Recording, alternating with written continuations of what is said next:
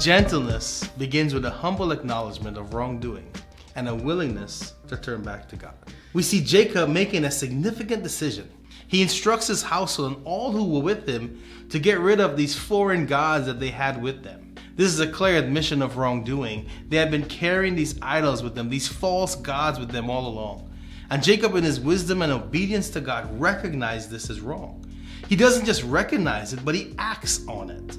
He doesn't make excuses or try to justify the presence of these idols. Instead, he humbly acknowledges the wrongdoing and he takes steps to correct it. This is a powerful lesson for us. Oftentimes, we carry around our own idols. These may not be physical statues or figurines, but they are things that we put before God in our lives.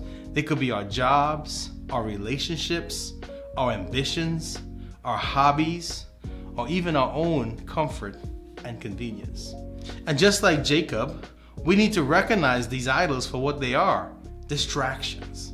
They are distractions from our relationship with God, roadblocks to our spiritual growth, and barriers in our obedience to God's commands.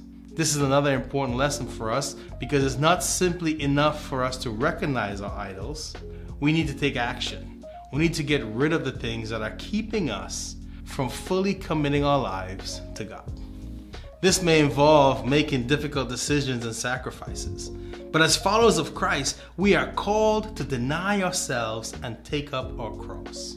Our acknowledgement of wrongdoing should not just be a, a mental or verbal exercise, it should be accompanied by a change in our behavior. We should be willing to admit our mistakes and ask for forgiveness, not just from God, but also from those who we have wronged. We should use our mistakes as opportunities to grow and to help others grow. Humble acknowledgement of wrongdoing is not just about admitting mistakes, it's about changing our behavior and being open and honest about our sins. It is about leading by example and using our mistakes as opportunities for growth. We find ourselves in a place of transformation. Jacob, having acknowledged his wrongdoing, as he's now in a position to cultivate a new quality within himself and his household. This quality is gentleness, one that is often overlooked in our fast paced competitive world. Yet, it is a quality that God values and desires to see in us. Gentleness begins with a humble acknowledgement of wrongdoing and a willingness to turn back to God.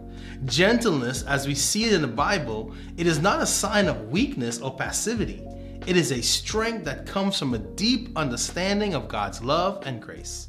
It is a response to God's mercy, a way of living that reflects the heart of our Heavenly Father. And in Genesis 35, we see Jacob beginning to cultivate this quality in his interactions with his family and God. Jacob's gentleness is evident in the way that he speaks to his household. He doesn't command them to get rid of their foreign God, he asks them to do so. He doesn't dictate their actions, he invites them to join him in worshiping the one true God. This is a subtle but significant shift in Jacob's leadership style, a shift that reflects a growing gentleness in his heart. This gentleness is also evident in Jacob's interaction with God. When God tells Jacob to go up to Bethel and build an altar, Jacob doesn't argue or resist, he simply obeys.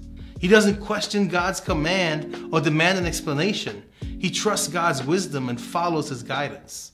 This is a sign of a gentle spirit, a spirit that's willing to submit to God's authority and to yield to his will. The Hebrew word for gentleness used in the Bible is anava. This word carries the connotation of humility, meekness, and a willingness to submit to God's authority. It is used in several other passages in the Bible, including Numbers 12, verse 3, where Moses is described as the most humble man on earth. And Psalm 45, verse 4, where, where the Messiah is portrayed as riding forth victoriously in humility and truth.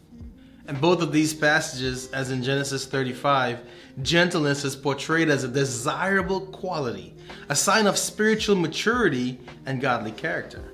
It is not a weakness, but a strength. It is not a liability, but an asset. It is not something to be shunned, but something to be sought after and cultivated. Now, as we look at Jacob's example, we are challenged to cultivate gentleness in our own lives. This doesn't mean becoming passive or weak. It means becoming more like Christ, who was gentle and humble in heart. It means treating others with kindness and respect, even when they don't deserve it. It means trusting God's wisdom and submitting to His authority even when it doesn't make sense. Cultivating gentleness means being patient with ourselves and with others. It means recognizing that we are all works in progress, that we all make mistakes, and that we all need grace. In the tapestry of our relationship, gentleness is the thread that binds us together, weaving a pattern of love, respect, and mutual understanding. It is the soft whisper in the midst of clamor, the gentle touch in a world of harshness, the calm in the presence of storm and chaos. Gentleness is the language of love spoken in dialect of the divine. So, how do we harness the power of gentleness and these biblical truths so that we can have it be a guiding path in our relationships?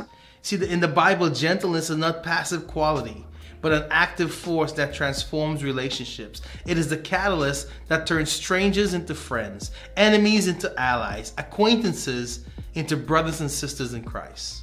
Research conducted by Dr. Robert Emmons, a leading scholar in the field of positive psychology, supports this biblical truth. His studies have shown that individuals who exhibit gentleness in their interactions tend to have a healthier, more fulfilling relationships. They are more likely to experience deep connections with others, to resolve conflicts effectively, and to foster an environment of mutual love, respect, and understanding. In the words of respected Christian writer C.S. Lewis, love is not affectionate feeling, but a steady wish for the loved person's ultimate good as far as it can be obtained. You see, this quote beautifully captures the essence of gentleness in relationships. It is a steady wish, a constant endeavor, a relentless pursuit of the other person's ultimate good. There must be also consistency in gentleness. Gentleness is not a sporadic act, but a consistent practice. It is not about a fleeting emotion, but a steadfast state of being. It is not a random act of kindness, but a deliberate lifestyle of love. And in the Bible, we see numerous examples of individuals who consistently exhibited gentleness in their relationships. They understood that gentleness was not a switch to be turned on and off at will, but a light to be kept burning brightly at all times. They recognized that gentleness was not a mask to be worn in certain situations, but a face to be shown to the world at all times because gentleness begets gentleness. And when we treat others with gentleness, we invite them to respond in kind. When we approach others with gentleness, we create a space for them to reciprocate with gentleness. Studies have shown that couples who treat each other with gentleness are more likely to have long lasting, satisfying relationships. They are more likely to communicate effectively, to resolve their conflicts amicably, and to foster a deep sense of respect. As we reflect on our relationships, let us strive to be gentle in our words. Let us strive to be gentle in our actions, in our thoughts.